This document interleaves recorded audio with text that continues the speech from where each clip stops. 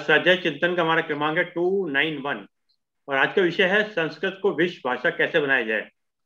अब हम आज का जो विषय लेंगे, आदरणीय आर एन पांडे साहब लेंगे, जो रिटायर्ड एडिशनल कमिश्नर टेटेक्स हैं।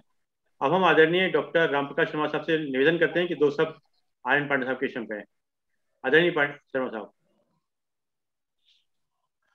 सम्मान्य श्री पांडे जी, इस स्वाध्याय चिंतन कार्यक्रम के प्रणेता सम्मान्य श्री अरविंद कुमार शर्मा जी और इस कार्यक्रम से प्रत्यक्ष और अप्रत्यक्ष रूप से जुड़े हुए जितने भी दर्शक और श्रोता वृंद हैं, उन सभी को मेरा प्रणाम। आदरणीय पांडे जी आज जिस विषय को लेकर के अपना वक्तव्य प्रस्तुत करने वाले हैं वह विषय हमारी भारतीय संस्कृति की आत्मा का विषय है। यदि भारत की संस्कृति से संस्कृत को कुछ देर के लिए एक तरफ़ कर दिया जाए तो संभवतः भारतीय संस्कृति पूर्ण रूप से पंगु हो जाएगी और निष्प्राण हो जाएगी। इसलिए आज का विषय बहुत ही महत्वपूर्ण है, चिंतनपूर्ण है और वर्तमान परिस्थितियों में शासन और सरकार को, विद्यालयों को, शिक्षकों को और जीवन से जुड़े हुए जिनको सूत्रों की आवश्यकता है, ऐसे सभी व्यक्तियों के लिए बहुत ही महत्वपूर्ण है। मैं सम्मान्य पांडे जी से अनुरोध करूँगा कि वह अपने वक्तव्य को प्रारंभ करने का कष्ट करें सम्मान्य पांडे जी। ओ, धन्यवाद, डॉक्टर श्री राम प्रकाश शर्मा जी। सबसे पहले गायत्री मंत्र का उच्चारण करते हैं। भूर्भुवस्व तत्सवितुर्वरेण्यम्। भर्गो देवस्य धीमहि। धियो यो प्रचोदयात्। और मैं दो मंत्र, वैदिक मंत्रों से प्रार्थना करता हूँ, अपने लिए, आप सबके लिए। ॐ विश्वानि देव सवितर्दुरितानि परासुव यद्भद्रं तन्न आसुव। ॐ अग्ने नयसु पथाराये अस्मान्। विश्वानि देव वयुनानि विद्वान्। यो योध्यस्माज्जुहुराणमेनो भूयिष्ठान्ते। नम उक्तिं विधेम। हे सकल जगत के उत्पादक प्रकाश स्वरूप परमात्मन, आप हमारी सारी बुराइयों को, बाधाओं को दूर करें। और जो कल्याणकारी हो, वो हमें प्राप्त हो।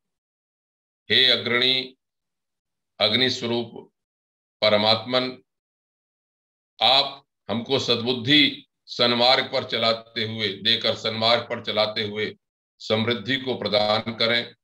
इस मार्ग में जो भी बाधाएँ आए, उन्हें आप दूर करें। हम आपको बार बार प्रणाम करते हैं। सर्वप्रथम श्री अरविंद शर्मा जी को बहुत बहुत आभार, प्रणाम। उन्होंने अपने भगीरथ प्रयत्न से इस स्वाध्याय सत्संग की धारा को, गंगा को, गंगा प्रवाह को चालू कर रखा है। और मैं अभिनंदन करता हूँ आप सभी विद्वान श्रोताओं का, जो इसमें बराबर साथ देते हैं, जिसके कारण से यह धारा चल रही है, सभी तरह से। विभिन्न प्रकार के विषय आए। आज अभी अभी जैसा श्री अरविंद शर्मा जी ने कहा कि इसी विषय पर बोलना है तो मैं तो ये सोच रहा था कि जो मेरा विषय चल रहा है उस पर ही बोलूँगा मैं लेकिन फिर भी। आ, इस समय मैं क्या कहूँ अगर मुझे से पूरा थोड़ा सा भी समय मिला होता तो मैं आपके सामने बहुत अच्छी तरह से सुबद्ध रूप में इस विषय को सामने रखता। तो मैं प्रयास करूँगा कि 50 मिनट का समय होता है, इसमें बहुत से मैटर किस तरह से मैं वेद से लेके अब तक उसको सामने रखता आपके। फिर भी, चूँकि यही कहा कि संस्कृत विश्व भाषा कैसे हो सकती है, ये विषय रखा है इन्होंने। तो जो पूर्व वक्ता है या जिनके लिए ये विषय दिया गया होगा उनके मस्तिष्क में विश्व भाषा कैसे हो? इसे करते समय क्या दिमाग में रहा है, मैं नहीं कह सकता। यदि मुझे बोलने को कहा जाए संस्कृत के बारे में, और संस्कृत को विश्व भाषा कैसे हो इसके बारे में तो मैं इस विषय को इस तरह से रखूँ, रखना चाहूँगा जो मेरे दिमाग में इस समय आ रहा है, कि संस्कृत कैसे संपर्क भाषा हो सकती है? विश्व भाषा का क्या अर्थ है? ऐसा तो नहीं जैसे उन्होंने कहा राष्ट्रभाषा हिंदी राष्ट्रभाषा हो सकती है। इसी तरह से कहीं विषय को चयन करते समय वक्ता के मस्तिष्क में यह हो कि विश्व भाषा इसी तरह से हो कि सारे देशों में संस्कृत ही बोली जाए। तो मेरा एपरेंटली प्रथम दृष्टिया यह मानना है कि एक भाषा को सब जगह लागू नहीं किया जा सकता। ये आप भी अनुभव करते होंगे। पारंपरिक रूप से हम जब बोलते हैं तो चूँकि हम भी भारत में रहने वाले हैं, यहाँ तो विविधता की बहुत ही बातें होती हैं। हर 20 किलोमीटर पे या 50 किलोमीटर पे 100 किलोमीटर पे भाषा बदल जाती है। भाषा बदल जाती है क्या? उसका एक्सेंट उसके शब्द, उसके स्लैंग्स उसे क्षेत्रीय शब्द बदल जाते हैं। और जब हम विश्व स्तर पर बात करेंगे तो विश्व स्तर पर तो अनेकों भाषाएँ हैं। जब हम भारतवर्ष में ही यदि तमिलनाडु में जाएँ, कन्नड़ में जाएँ तेलुगु में जाएँ तो वही बात नहीं समझ पाते हैं। यदि हम जर्मनी, फ्रेंच यहाँ पर देशों में जाएँ तो बिल्कुल भी समझ नहीं पाते। तो वो मेरे दृष्टि से, यदि मेरे से ये कहा जाए कि क्या संस्कृत विश्व भाषा हो सकती है? तो विश्व भाषा का मतलब ये नहीं कि एक ही भाषा हो पूरे विश्व में। मैं इसको इस तरह से सोचता हूँ कि संस्कृत जो है वो संपर्क भाषा हो सकती है पूरे विश्व में। संपर्क भाषा होने के लिए क्या गुण होने चाहिए जो मेरे समय दिमाग में आ रहे हैं? मैंने पहले से इसकी तैयारी नहीं की है। एक तो ये कि वहाँ पर जो भाषा बोली जाती हो, उसका कुछ मिलान हो संस्कृत से। और जो संस्कृत शब्द है ये संस्कृत भाषाओं में जो शब्द आए हैं शब्दावलियाँ हैं, उनको ये सिद्ध किया सके कि वो सुपीरियर आजकल कंप्यूटर का जमाना है। आपने सुना होगा, मैंने कोई प्रामाणिक रूप से इसे नहीं खोजा है, पढ़ा है केवल सोशल मीडिया पे, कि नासा ने इसमें रिसर्च की यह कंप्यूटर जानने वालों ने रिसर्च की तो यह पाया कि कंप्यूटर के लिए सबसे उपयुक्त भाषा संस्कृत है, ऐसा मैंने सोशल मीडिया पे पढ़ा।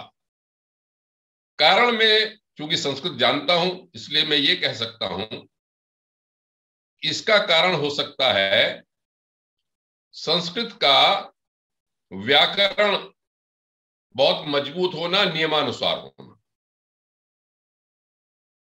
पाणनी ने जिस प्रकार से व्याकरण को बनाया, या संस्कृत भाषा मूल रूप से धातुओं से निकलती है, उनके प्रत्येक शब्द में रूट होते हैं, और उसके नियम होते हैं, उसके अनुसार उसके अर्थ होते हैं।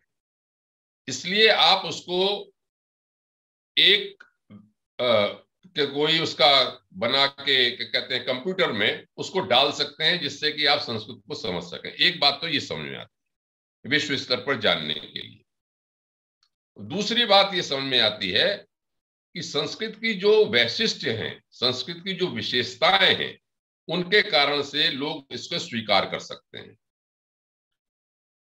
मैंने एक जगह ये पढ़ा था कि सोलहवीं या सत्रहवीं शताब्दी में, वेस्ट बंगाल में कोई एसोसिएशन हुई थी वहाँ पर जब लोगों ने ला, लातिनी लैटिनी भाषा को जानने वाले थे और फ्रेंच भाषा को जानने वाले थे ये पुरानी भाषाएँ मानी जाती हैं पाश्चात्य उसमें तो उन्होंने जब इसके एक तुलनात्मक अध्ययन किया संस्कृत भाषा से तो उन्होंने ये पाया आपने पढ़ा होगा इसमें कि काफ़ी शब्द मिलते जुलते हैं। खास तौर से मातृ शब्द जैसे है। मातृ को मदर कहते हैं इंग्लिश में, और मुझे इस समय पूरी तरह से नहीं ध्यान है। इसी तरह से पिता के शब्द में भी फादर है, या वहाँ पर लैटिन में, फ्रेंच में भी उसी से मिलता जुलता शब्द बोलते हैं। तो मैं समझता हूँ, इसलिए संस्कृत एक संपर्क भाषा। अब दूसरी बात आती है जो मैंने कहा कि संस्कृत पहले भारतवर्ष में किस रूप में रही होगी? भारतवर्ष में जो संस्कृत की देन है, ये आप सब जानते हैं कि ऋग्वेद पाँच हज़ार से दस हज़ार साल पहले लिखे गए। इतने प्रौढ़ अवस्था में ऋषियों ने उसको ध्यान करके उपासना की। और ऐसा ही लगता है कि इसी से सभ्यताओं में इनका प्रसारण हुआ। राजा एक संस्कृत का भाषा का बढ़ने का कारण जो है कि राजाओं से संरक्षित थी। तो यदि हम संस्कृत को विश्व की संपर्क भाषा बनाना चाहते हैं तो मेरे हिसाब से हमको पहले यह सिद्ध करना पड़ेगा कि ये संस्कृत को दूसरे लोग क्यों अपनाएँ। एक तो अपनाए इसकी विशेषता के कारण। विशेषता क्या है? इसमें कितना साहित्य उपलब्ध है इसका।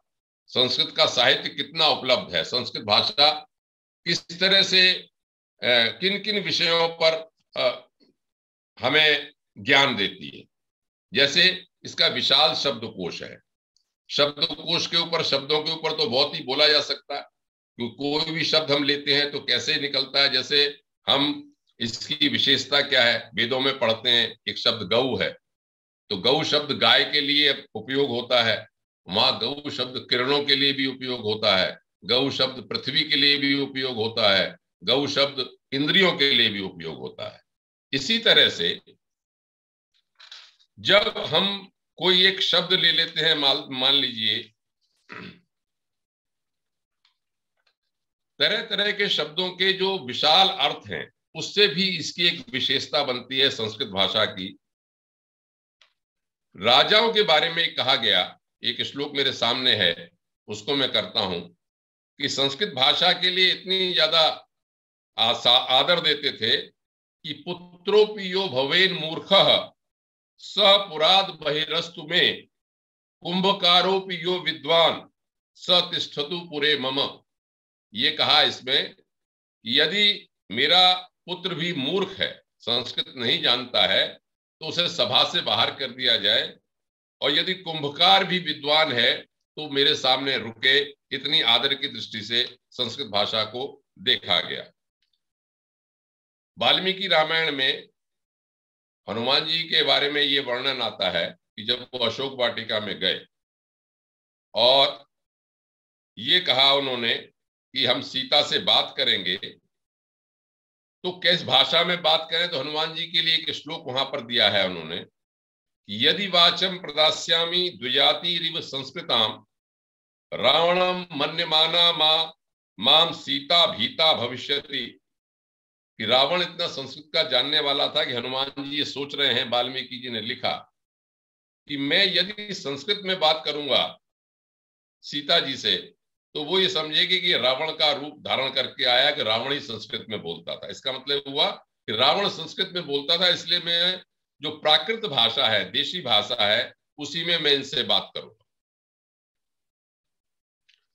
तो संस्कृत का जो साहित्य हमारे पास है उसमें मानव जाति का इतिहास भी है, विशाल शब्दकोश भी है, और संस्कृत की शास्त्रीय दृष्टि भी बहुत बड़ी है। शास्त्र तो आप सब जानते ही हैं कि चार वेद हुए वेदांग हुए, फिर आरण्यक है ब्राह्मण ग्रंथ लिखे गए, उसके बाद उपनिषदें लिखी गई। ये ग्यारह उपनिषद तो बहुत ही प्रसिद्ध हैं, हम बार बार उन पर चर्चा करते हैं। ईश, केन, कट, प्रश्न, मुंडक, मांडू के ऐतरीय, तैतरीय, छांदो की बृहदारण्य श्वेता श्वेता। तो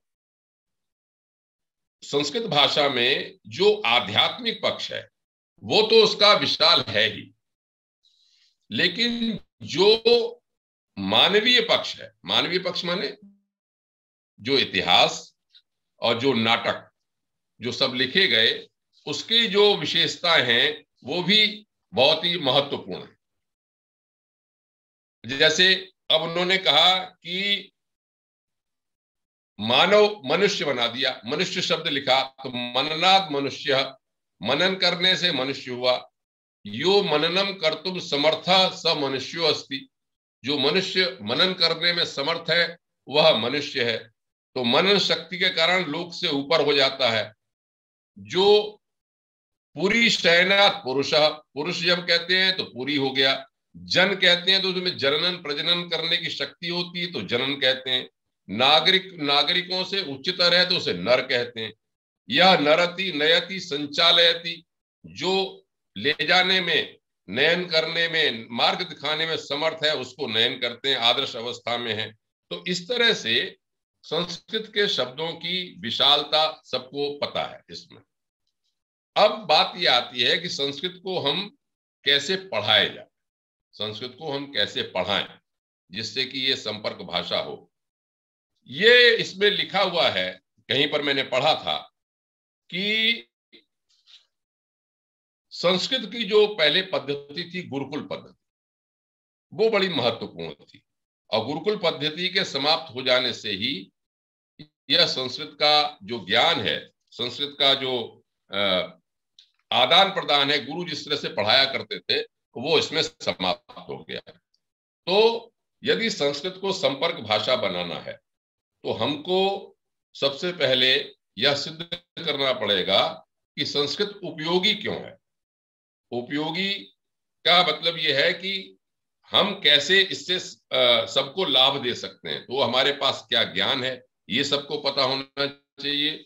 दूसरा, संस्कृत के बारे में जो शासन करने वाले लोग हैं, प्रशासन है, वो इसमें महत्वपूर्ण क्या कहते हैं रोल निभा सकते हैं, अदा कर सकते हैं कि अगर हमारा जो प्रशासन है, वो इसको अपनाए किसी तरह से, तब हम उसको और आगे बढ़ा सकते हैं।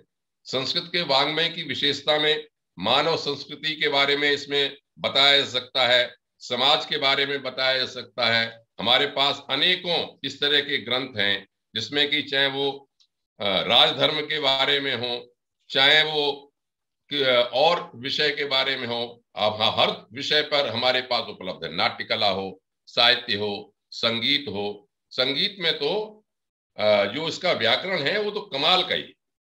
इसके बारे में जो अक्षर इनके जो ऊपर बनाए, महेश्वर सूक्त, जैसे आपने पढ़ा होगा, पाणिनि ने चौदह सूक्त लिखे। आई उण रिल रिक ओंग आई वरट, लड़ यमगढ़ नम झबे दस, जब दस चट खपट चट कपै शस्तर हल। इन चौदह माहेश्वर सूक्त के आधार पर एक ग्रंथ लिखा गया, नंदकेश्वर काशिका। नंदकेश्वर काशिका में तो अ ई उ, इन शब्दों के जो आध्यात्मिक अर्थ हैं, वो सब लिखे, सब इन्होंने। यहाँ पर भी एक बात और मुझे याद आती है कि मैक्स मूलर नामक विद्वान का बड़ा नाम आता है, संस्कृत को बढ़ाने में अर्वाचीन इस समय आधुनिक युग में। कि उन्होंने वेदों का, उपनिषद का, सबका ट्रांसलेशन किया। और उन्होंने यहाँ तक लिखा कि यदि मुझे ये कहा जाए कि सबसे महत्वपूर्ण भाषा यदि मुझे अपनाने को कहा जाए तो वो कहेंगे कि संस्कृत है। और भारत मेरे लिए बहुत ही आदर्श है इस बारे में, जहाँ पर कि संस्कृत की भाषा। है तो संस्कृत के संरक्षण के बारे में इस समय बहुत ही आवश्यकता है इस तरह से यदि हम संस्कृत के प्रत्येक शब्दों को लेके चले, जैसे मैं आजकल पंचतंत्र पर ही बोल रहा हूँ तो उसमें दंड नीति के बारे में जैसे अर्थशास्त्र, कौटिल्य का अर्थशास्त्र सभी समझते हैं इस बात को। तो मैं ये समझता हूँ कि संस्कृत के यदि प्रशासन इसको अपनाए और हम उसको सरल रूप में प्रस्तुत कर दें तो संपर्क भाषा के रूप में ये प्रस्तुत हो सकती है। अभी हमने आदरणीय श्री राजेंद्र नाथ पांडे जी का वक्तव्य संस्कृत भाषा के वैश्विक संबंधों को लेकर के सुना है।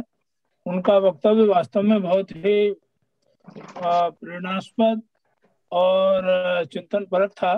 उन्होंने कई ऐसे कारण और उपाय बताए जिससे कि संस्कृत भाषा को विश्व स्तरीय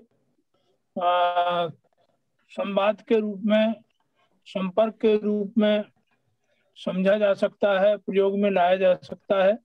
इसके लिए शासन की इच्छा शक्ति का भी होना आवश्यक है कि वह इस दिशा में कुछ सकारात्मक प्रयत्न करें। वैसे तो वर्तमान भारत सरकार की जो राजनीतिक उनका दल है, उसके संकल्प पत्र में ये लिखा हुआ भी है कि हम संस्कृत का विकास करेंगे। उसी की हमें प्रतीक्षा है कि वो दिन कब आएगा जब भारत सरकार संस्कृत के विकास के लिए कोई ऐसी योजना बनाएगी। जिस योजना के संबंध में चर्चा सम्माननीय पांडे जी कर रहे थे, संस्कृत भाषा की विशेषताओं के अंतर्गत उन्होंने कई ऐसे पहलुओं पर ध्यान आकर्षित किया है। जो आने वाले समय के लिए बहुत ही विचारणीय है और खोजपूर्ण है, व्यवहारपूर्ण है। उन पर संस्कृत जगत और कंप्यूटर जगत से जुड़े हुए जो विद्वान लोग हैं, वो उस दिशा में यदि पहल करेंगे तो ये विश्व की सर्वाधिक प्राचीन भाषाओं में से एक भाषा जो संस्कृत है, उसका जो ज्ञान विज्ञान है, उससे पूरा विश्व लाभान्वित हो सके। इसका प्रयास बहुत ही सराहनीय रहेगा। मैं सम्माननीय पांडे जी को इस वक्तव्य के लिए हृदय से धन्यवाद देता हूँ कि उन्होंने हम सभी श्रोताओं के लिए अपने वक्तव्य के माध्यम से कोई नवीन ज्ञान प्रदान करने में सक्षम रहे। उनका एक बार पुनः हार्दिक धन्यवाद। इसी क्रम में ये भी जान लेना प्रसंग सम्मत होगा कि संस्कृत के प्रयोग के समय जैसा कि व्याकरण संस्कृत की बहुत अद्वितीय है। जैसे आप अंग्रेज़ी में कोई वाक्य कहें, उसमें कर्ता कर्म क्रिया कोई यदि आगे पीछे कर देंगे तो आपका अंग्रेज़ी का वाक्य गड़बड़ा जाएगा। लेकिन संस्कृत में ऐसा नहीं है, उसमें कर्ता कर्म क्रिया को आगे पीछे करने से भी उसके अनुवाद में, उसके हिंदी के भाषांतर में कोई प्रभाव नहीं पड़ता। जैसे बालक ग्रामम गच्छति, बालक गाँव जाता है तो बालक शब्द करता है, ग्राम उसका कर्म है, गच्छति उसका क्रियापद है। यदि इन क्रियापदों को, कर्म पदों को और कर्ता पदों को हम आगे पीछे भी कर दें, गच्छते ग्रामम बालक, क्रियापद हमने पहले बोल दिया, फिर कर्म बोल दिया, उसके बाद कर्ता पद बोला इस क्रम को ऐसे कर देने पर भी संस्कृत के वाक्य के भाषांतर में कोई हानि नहीं हुई, कोई प्रभाव नहीं हुआ। तो इसी कारण से नासा के वैज्ञानिकों ने ये कहा कि संस्कृत भाषा विश्व की सर्वाधिक वैज्ञानिक और कंप्यूटर में उपयोग लाई जाने वाली भाषा है, ताकि उसके जो ध्वनीय तरंगे हैं, वो किसी भी परिस्थिति में परिवर्तित नहीं होती। और उसके व्याकरण पर उसका कोई दुष्प्रभाव भी नहीं पड़ता है। इसलिए आज जो पांडे जी ने अपना वक्तव्य दिया, वह बहुत ही मार्मिक है और देश के सुबुद्ध, प्रबुद्ध नागरिकों के द्वारा विचारणीय है कि वह सब मिलकर के संस्कृत भाषा के विकास के विषय में स्वयं भी चिंतन करें और सरकार को भी चिंतन करने के लिए प्रेरित करें। इतना ही कहकर मैं अपनी बात को विराम देता हूँ। सम्मान्य श्री अरविंद कुमार शर्मा जी को भी मेरा हार्दिक अभिवादन, धन्यवाद। और सभी श्रोता वृंदों को भी मेरा सादर प्रणाम। धन्यवाद आदरणीय डॉक्टर शर्मा साहब और धन्यवाद आदरणीय डॉक्टर आनंद पांडे साहब। और जैसा कि एक विचार के साथ अपना समाप्त करते हैं तो आज का जो विचार है, वो संस्कृत में ही रखते हैं हम लोग। वो स्वामी तुलसीदास जी की दो लाइन है। मुझे संस्कृत पूरी नहीं आती, पर फिर भी प्रयास करता हूँ। आवत ही आवत ही हर्ष हरवे नहीं। आवत ही हर्षे नहीं। हाँ नैनन नहीं सने। तुलसी वहाँ न जाइए कंचन बरसे में है। है। मैं अब हिंदी हिंदी में बोल सकता हूँ सब चलिए। हिंदी में ही है। हिंदी में है कि जिस स्थान या जिस घर में जिस स्थान या जिस घर में आपके जाने से लोग खुश नहीं होते हों और उन लोगों की आँखों में आपके लिए न तो प्रेम और ना ही स्नेह हो। और उन लोगों की आँखों में आपके लिए ना तो प्रेम और ना ही स्नेह हो वहाँ हमें कभी नहीं जाना चाहिए। चाहे वहाँ धन की ही वर्षा क्यों ना हो। सुंदर। चाहे वहाँ धन की ही वर्षा क्यों ना हो अपने आत्मस्वाभिमान को हमेशा ज़िंदा रखिए। आइए हम तीन बार अपना ओम का उच्चारण करके अपना अनम्यूट कर लीजिएगा और शांति पाठ करके चले। ओम ओम।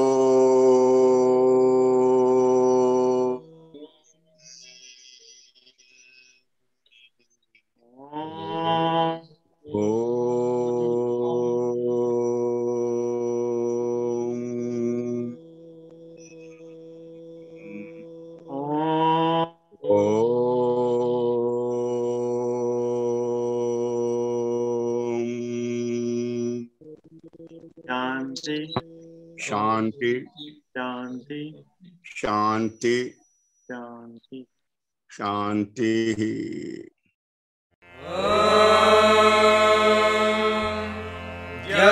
शान्तिरन्तरिक्षं शान्तिः। पृथिवी शान्तिरोषधयः